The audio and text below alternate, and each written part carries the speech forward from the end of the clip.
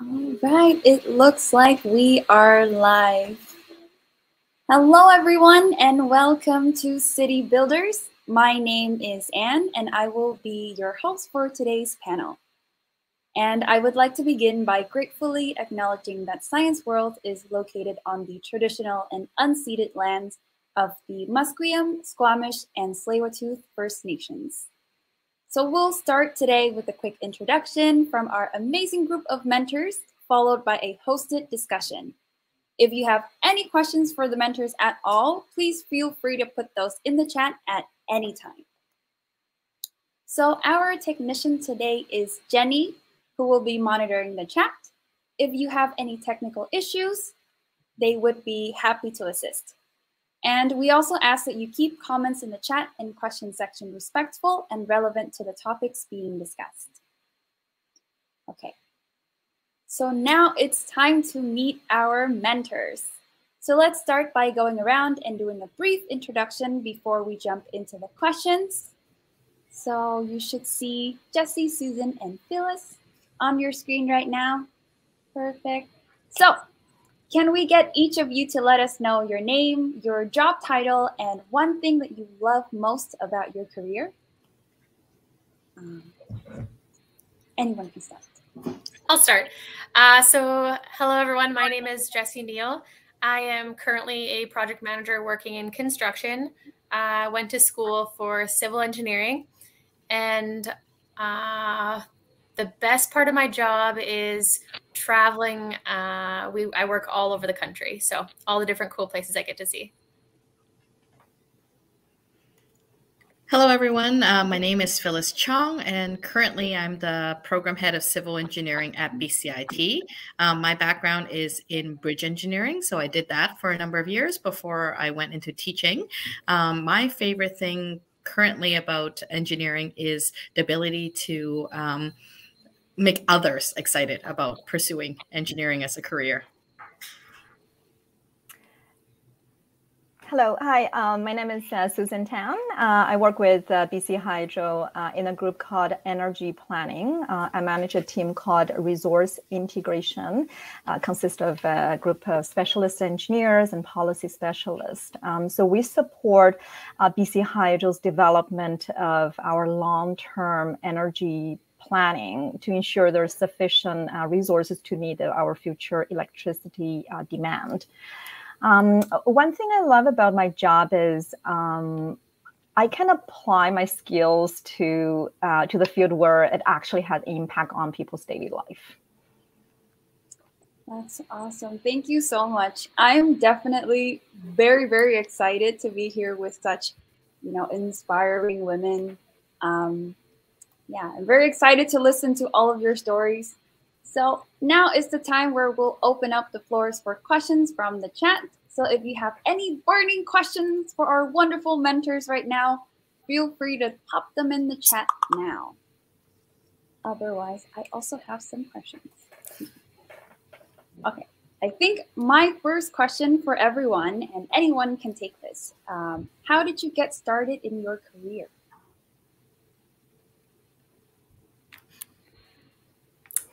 Can start. So I never thought I would go into engineering. And I think that's also because I just wasn't exposed to it. I don't have parents that were engineers. As a girl, I didn't really always think it was a place for me.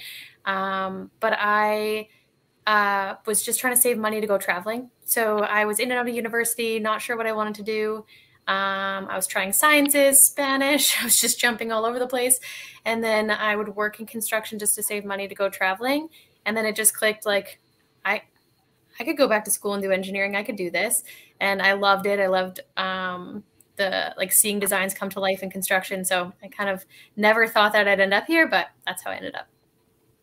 I love that so much. Sometimes just the best things happen to us when we're yeah. when we least expect them. Thank you so much, Jesse. Um, my my start is a, a, little bit similar to Jesse's. I actually never thought about becoming an engineer either. And same same thing. I didn't have anybody in my family who was an engineer, and I was not exposed to engineer as a career even. Um, but I did very much enjoy all of the STEAM topics, um, particularly sciences, when I was um, going through school. So I knew I wanted to do something to do with sciences, and in particular physics.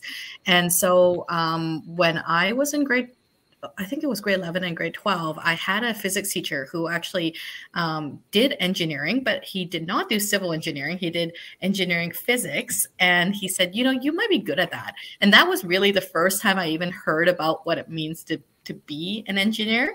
And so I looked into it and I actually thought I was going to be an architect.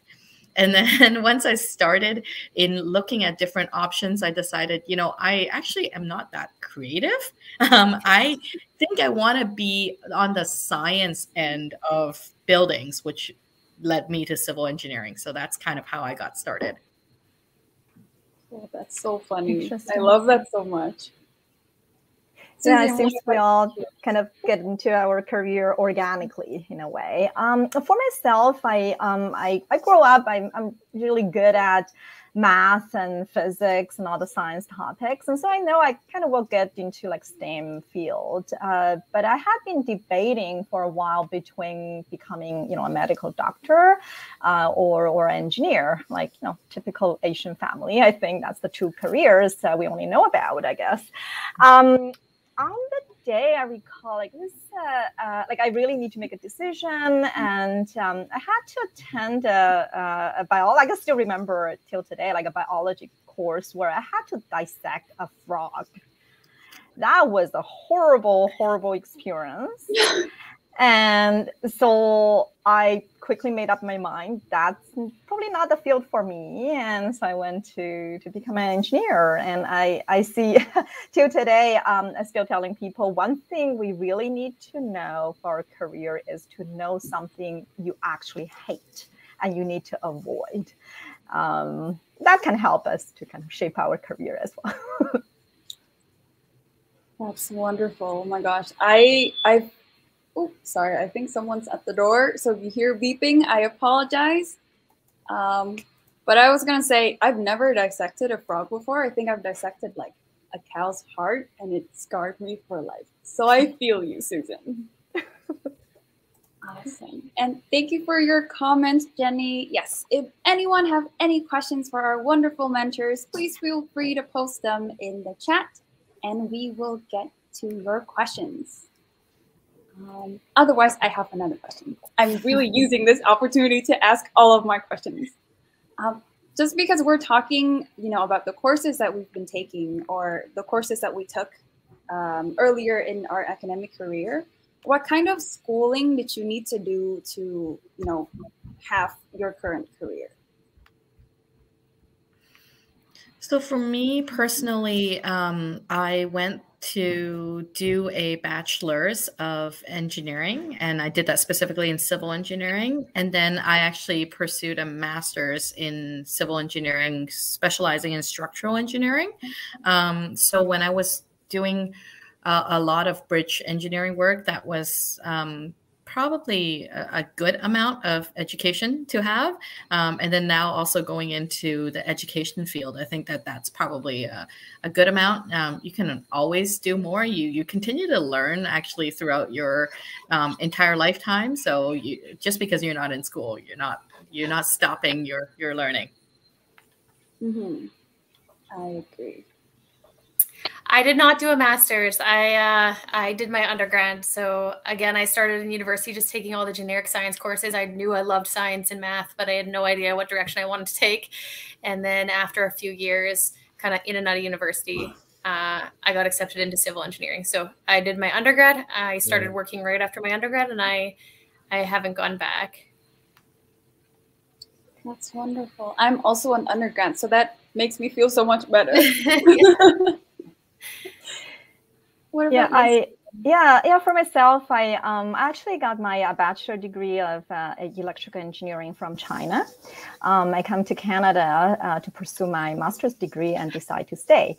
Um, so yeah, for myself, I really see uh, you know to be successful in this career and be an engineer, the continuation uh, continuous education is definitely.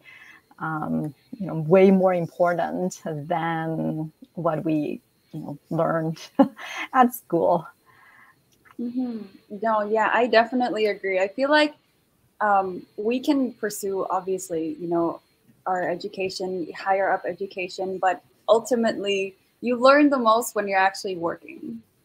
Um, and I think that brings me to my qu- next question. What kind of, I guess, what skill set do you think has helped you the most in your career? This is an interesting one um, because for me, and I'm so glad you asked this question, Anne, is um, not anything technical. It's actually communication skills.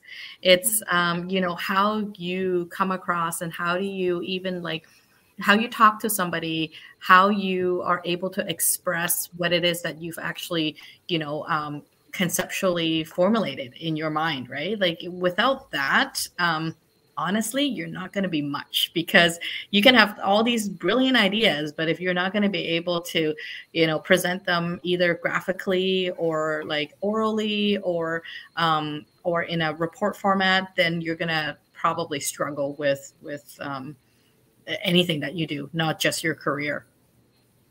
Mm-hmm. I, I would.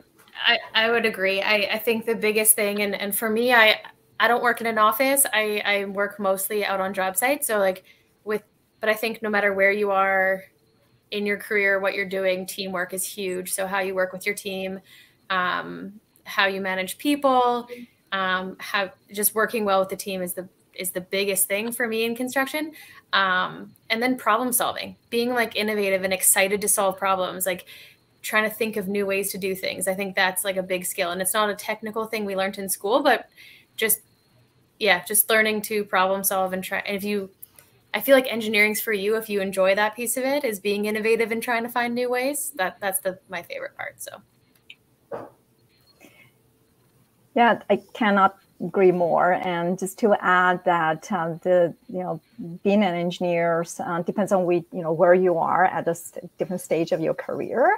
Um, I think different skill sets are you know important required. I would say where I am today, I see you know the skills being able to drill down to uh, you know the technical details, detail levels, and then bring it up to uh, using one of my um, VP's uh, comments. Like you have to explain to an eighth grader uh, in five sentences. And so that's what I see the, the skills that really propelled my career.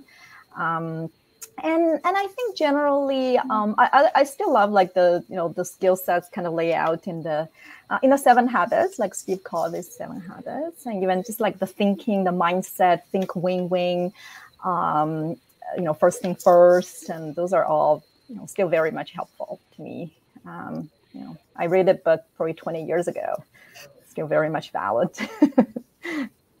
That's definitely very insightful. Yeah, I feel like a lot of people, I guess, fo- hyper focus on just people's academic career instead of the actual skill set that they have. So communication skills, you know, being able to really, in a very organized way, plan your action plans, um, and all that good stuff still very important.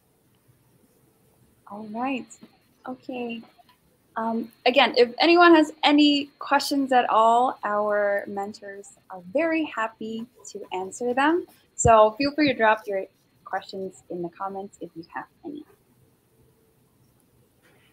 Okay. Hmm.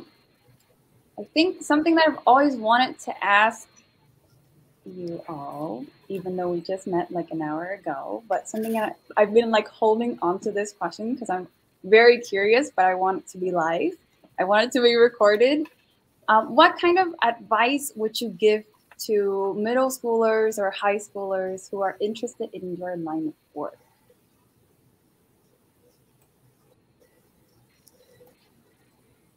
Who's going to go first?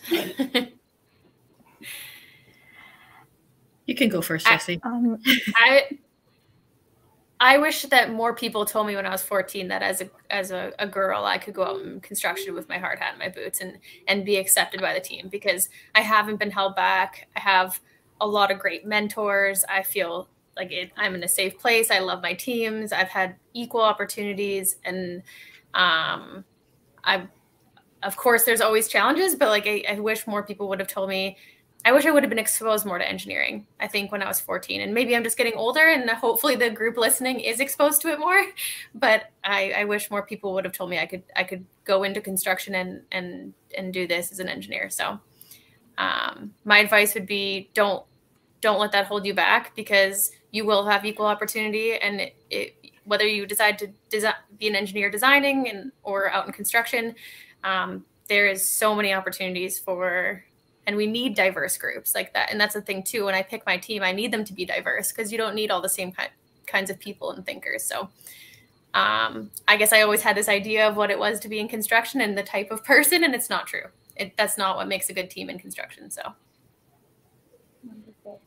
I think that's very reassuring for a lot of folks here Thank you so much, Jesse. I mean, I live up in a camp most of my life with almost with a lot of men in the middle of nowhere, and I I love it. it. There's more than enough opportunities for all different types of people. Yeah, I definitely agree with that, and I know it maybe sounds cliche, but I think like just um, think that you know like you can do anything that you put your mind to um, but i think to add to that i would the, the piece of advice I would give is just to keep an open mind and don't be afraid of change because just because you went into something thinking that you're going to go down this certain path, if along the way you think that it actually will fit you better or it'll be like a healthier choice or you know you're going to be able to get more out of it while giving more of yourself for um, you know something that you didn't start off doing, I think that that's like a great choice as well. Like just don't be afraid to say that oh you know maybe i didn't make the right choice before and i'm going to you know pursue something different right? So um i think i love that. i feel like that i can relate to that so much. Like when i was 18 i didn't know. I knew i had to go to university and do something. And then i was doing chemistry and i think god i would have hated to work in a chem lab.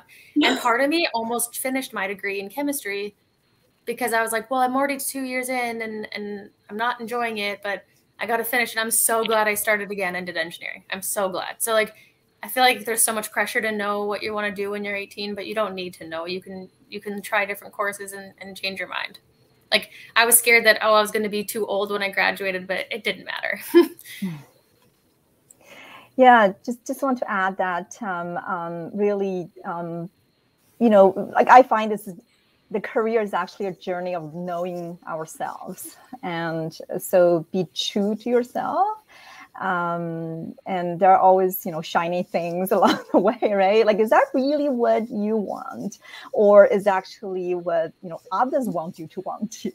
So um, it's um, i think i think that's important. And also uh, i find um, you know again i wish somebody told me um, to really explore and consciously building your network. I know, you know, maybe now you're not really thinking about your professional network, but really go out and, you know, look at the LinkedIn, um, attend um, some of the universities like UBC, SFU put up a lot of uh, free webinars and, and really reach out and, mm-hmm. and don't afraid of, you know, exploring. Oh, I love that all so much. Oh my gosh, even for me, that's so reassuring because um, yeah i definitely understand all of the pressure that a lot of you know folks have to go through um, when they're at like 11th grade 12th grade where they're thinking about college and thinking about what they have to do or what they think they want to do for the rest of their life. So just you know reminding ourselves that we do have time. We can explore we can you know explore ourselves what we're interested in as well as the different fields. Um, yeah and also making sure that we're doing the things that we're really passionate about and not just the things that you know other people think would be best for us. I think that's you've all said it so beautifully. Okay. Again folks if you have any questions at all our mentors won't bite i hope. So if you have any questions at all feel free to drop them in the chat and we will definitely get to your questions Okay. Right. Something else that I've always been curious about because I'm I'm really interested in engineering, but I'm not an engineer. Is what does your typical day look like at work? I think all three of us are going to have different answers, so this should be good. Exciting. someone else go first. yeah, I can. I can probably go first. And um, again, I find uh, that's a really broad question and ask and i think even a quote unquote engineer uh, it can be at different stage of your careers and at different groups within even bc hydro's company. Um, our daily life could be quite different. For me where i am today um, i'm managing you know a team with you know, engineers and policy specialists. We do long-term planning.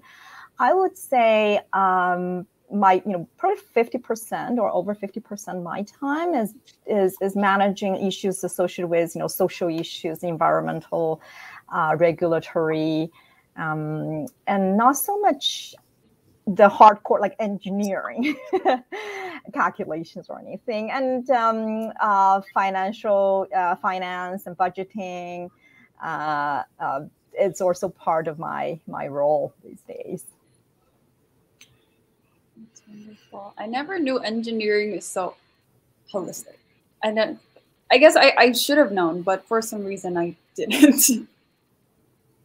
Maybe um, uh, maybe I'll go next, and I will. I, I guess I'm going to cheat a little bit because I'm not going to tell you about my normal day now because my normal day now is not that glamorous. Um, but maybe I'll cheat and tell you a little bit about um, when I was in the bridge engineering industry. Um, one of my normal days may be looking at, and this was back when I was actually working on the Golden Ears Bridge project. So when the Golden before the Golden Ears was being built, um, I actually worked for quite a number of years on that project. And um, one of my days might look like looking at computer modeling for the behavior of the bridge as it was being built. So we looked at stuff like um, how do you position certain weights on the bridge as it's being built so that it'll be balanced and to get the you know the shape of the bridge that you really want to see. Um, we might be looking at things like um, how much force to pull on the cables that they're hanging every day and how that is going to help you control again the the geometry of the bridge. Um, so that would have been one of my days back when I was working in industry in, in bridge building and and that I think is something that's really exciting because um, you actually get to see that. And then, um, you know, we'll send that information out to the construction site, and then somebody out there um, from the contractors group will be able to tell us, okay, yeah, it's behaving exactly as you told us it is, which which would be a fantastic day, right? So. Um, luckily, we had a lot of fantastic days, and the bridge is out there now. I think probably most of you have um, been on the Golden Ears Bridge before, um, but that would be something that I I would think is a it's a really fun thing to do for for a date. So Phyllis, we're kind of like on the two different sides, the design and then the contractor side. But um, uh, on the bridge side, a fun fact is I have I spent November and December up in Hope, BC. Which, if anyone listening knows anything what happened up there with the flooding, I was one of the people trapped in Hope, and we flew. We stayed up there for two months, and uh, and we were the ones re- rebuilding the bridges. So we were up there rebuilding all the bridges on the Coquihalla Highway over the last two months. So it was a crazy two months, but really cool flying in helicopters to work to try and get these bridges put back together. So Phyllis would have been the one designing. I wasn't designing, but we were out building. so um, a typical day for me, um, it changes a lot um, from project to project. Um, I would say half of my days in an office and half of my days in a hard hat in the field. So I manage a team of about 30 people and um, uh, and a mix of engineers and builders and, and then um, we uh, i would say between financials meetings and design coordination um, probably half of my days in the office but the best part of my days in the field. So i'm out there uh, working with uh, design engineers and we are trying to fix problems in the field make field fixes um, and then we're building. So um, yeah, that's kind of it depends on the project. Uh, the best part of I think working in engineering or construction is it's never the same. So from each job you go to, it's different. Sometimes you're more in the field, and sometimes you're more in the office. And as you grow in your career, you can kind of choose which direction you want to take. So if you enjoy the design side or the financial side, or you like being out in the field, there's so many different paths you can take. So for me, I'm kind of a mix in the middle. I'm managing a, a scope where where I do a bit in the field and a bit in the office. So that's wonderful. What I'm hearing, it, there's never a dull moment in your no. job. No. That's wonderful. Oh my gosh. I didn't think I'd be flying to work in a helicopter putting bridges back together 20, 24 hours a day in November. No. And and I think what you Jesse said, and also what Susan said, I think is similar before too. It's that you have so many choices after, like you know, maybe when you're starting out, you do have to put in the work, right? But after that, there are so mm-hmm. many directions that you could take, right? You could work in, you know, building like the the business side of the of the company, or you can be you know more managing a team like a line manager or you could be out in construction sites or you could be you know looking at an office job with analysis and things like that. And and that's kind of exciting too. And and a lot of places does allow you the opportunity to kind of work a mix of those tasks. Yeah. That's wonderful. Thank you so much for sharing. Um, just out of curiosity i know that or at least for me, I'm I'm at UBC. I've always heard rumors of like engineering students having to take six, seven courses a term, full course load. They have to like stay awake for 24 7 studying for their midterms or exams or building whatever project they're building. Did you have or do you have any I guess keys to success or keys to getting through the heavy engineering workload at school? This is probably a really good question for Phyllis. I'll start and you can chime in as well. Well, both Jesse and Susan. Um, it, yes, it, it is a heavy workload. Like I think there's no way around it. I think for us being an engineer, we all know it's a heavy workload, but I think that also prepares you um, to be not just a better engineer, but a better person um, in the future because then you're able to, you know, look into prioritization and, you know, like looking at time management and mm-hmm. um, things like that. But the one key that I want to point out, and, and it actually helps in all facets of life, and it's something that we sort of alluded to already, is work with other people, collaborate, right? Like build a team. And I think that it makes a big difference. Um, if you see students that are involved with, you know, a bigger group of students that are supporting each other, helping each other out, um, you like can basically um, you know work faster but at the same time you're also exposed to all of that different viewpoints and and you know like different ways to to actually solve a problem and i think that that is something that's going to be extremely helpful Mm-hmm. Does anyone else want to add to that? I think like I think back to university and like I remember it being a really heavy workload, but it goes back to really like enjoying what you do and and like I loved a lot of the courses, um, but you're always going to have courses you hate that you just have to get mm. through. And my friends that I met in university, I didn't go to school with any friends. I didn't go out of high school, so I made new friends in university, and that was a huge part of it. And you grind through, and it goes by so fast. It's over before you know it. and yeah, there's some late nights, but you have to really enjoy it.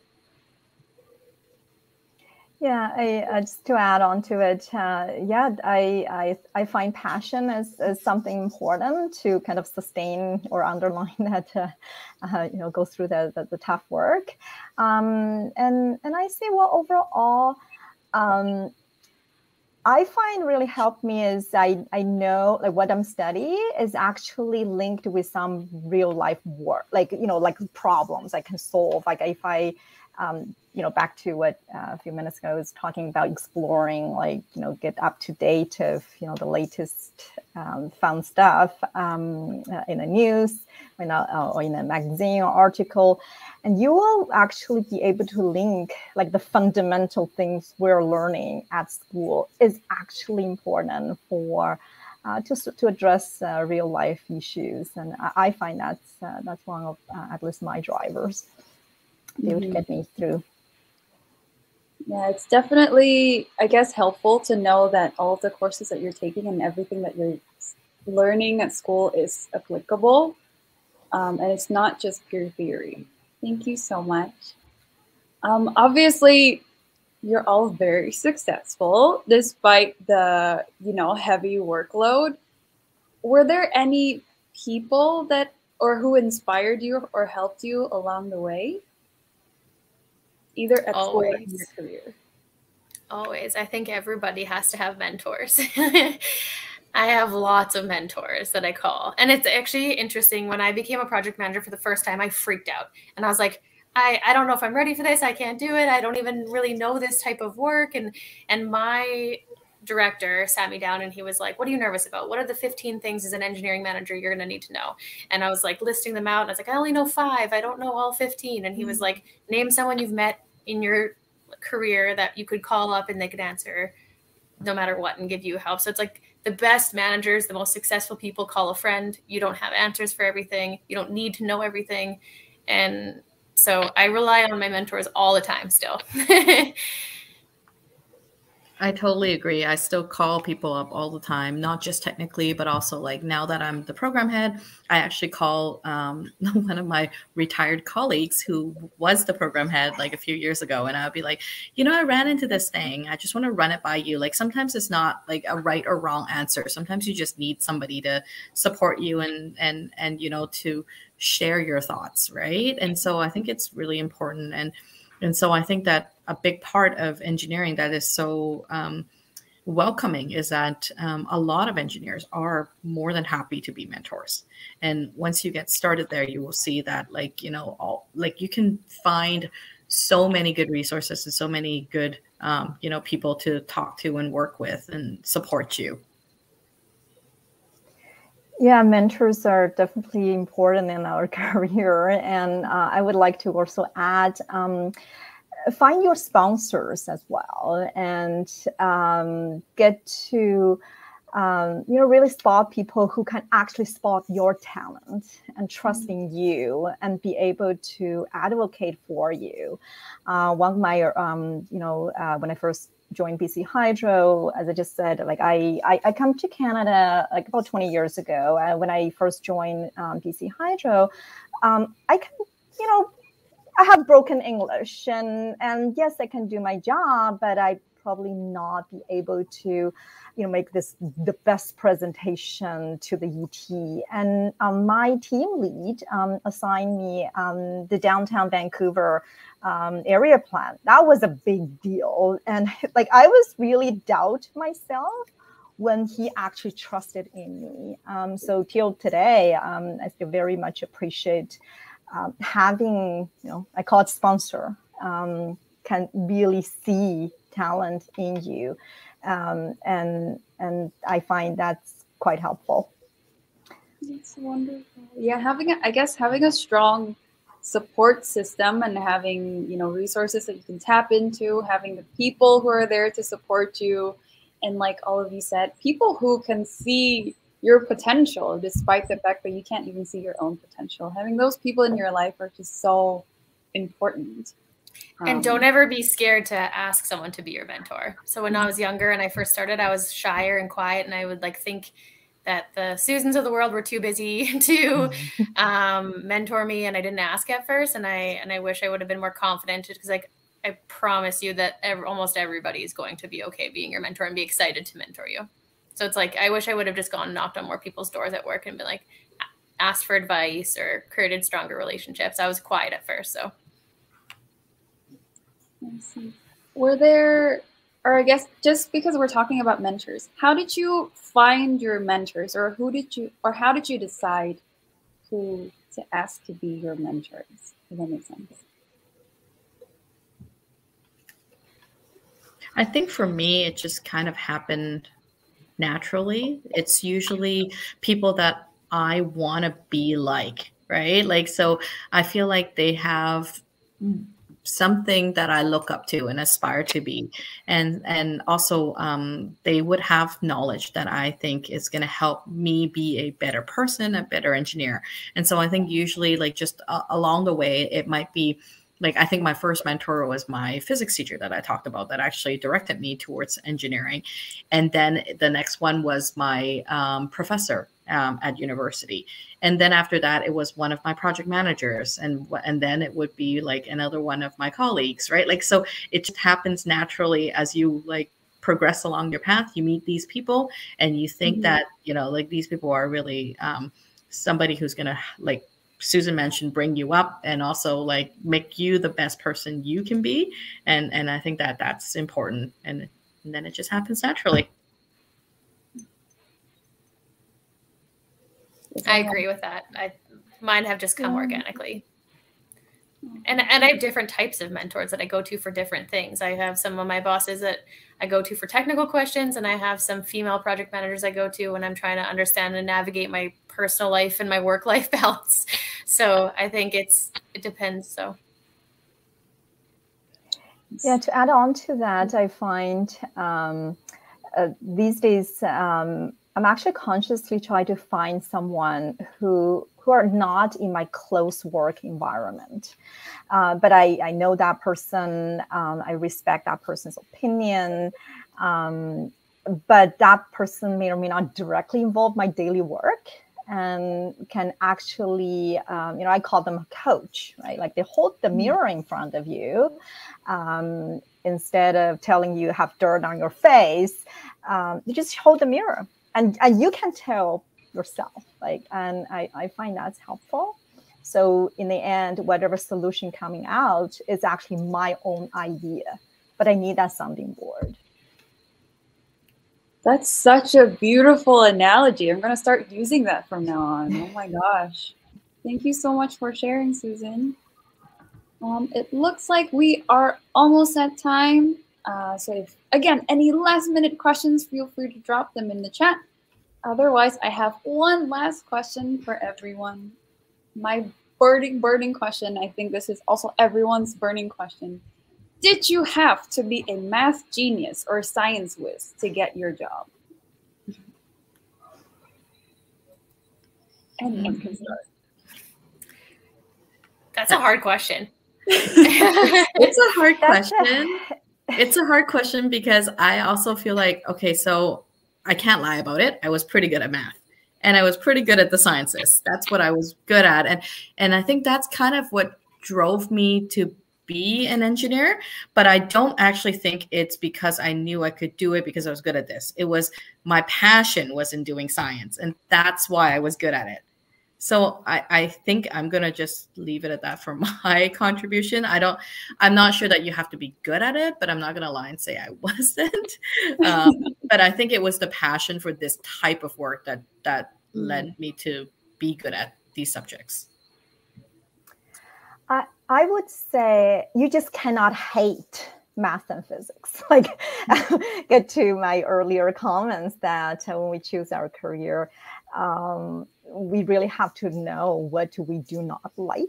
And uh, in the world of engineering, um, you know, math and physics, like science, fundamentals are still there. Um, but that's not, definitely not the only uh, factor will drive a successful engineering career. And towards, I would say, you know, latter part of your career, you might realize that's definitely not even the most important factor. It's many, many other things will um, drive a successful engineering career. Mm-hmm. I think it's. I think you have to like math and physics, and you have to be good at it. I don't think you have to be a genius.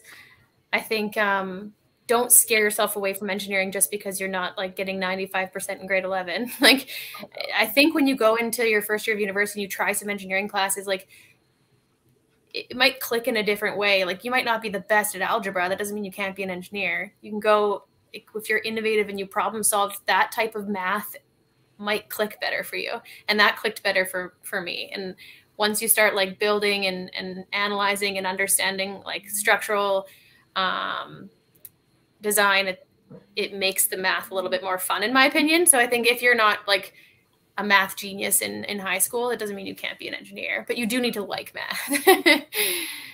I, I think that's a very, very good distinction. You don't have to yeah. be a genius, you just have to like it and be passionate about it. Awesome. All right. It looks like we are almost at time. We have less than one minute left. So I'd like to thank you for joining us today and a huge thanks as well to our wonderful mentors for sharing their time and experiences with us. So we will now have a bio break and a bit of time to explore our interactive virtual booth. You can access the booth through the exhibit hall, button at the top of the page in Project Board. And then the next session will start at 6 p.m. PST, so around 20 minutes. So be sure to pick out where you want to go next. Thank you so much for coming, Thanks, everyone. everyone. Thank you. Thanks, everyone.